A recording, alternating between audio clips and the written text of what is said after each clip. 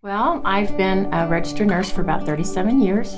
I didn't realize how many products that we use that are petroleum based. In the clinic where I work now, we use masks, we have gowns, we have gloves, alcohol gel for our hands. Prior to this job, I worked with surgeons, and in surgery, you have all the surgery kits, you have all the, the surgical appliances and how they're wrapped, you have their gowns and their gloves. Every emergency room has 90 products that are petroleum based. And these are vital, vital products that we use. After I researched more, I found that 80 to 90% of our pharmaceuticals are petroleum based. All of it is necessary whether you're in a healthcare setting, if you're in an ambulance, if you're in a clinic setting. It is all necessary across the board. Again, I've been a nurse for 37 years and I've seen a lot of changes in healthcare.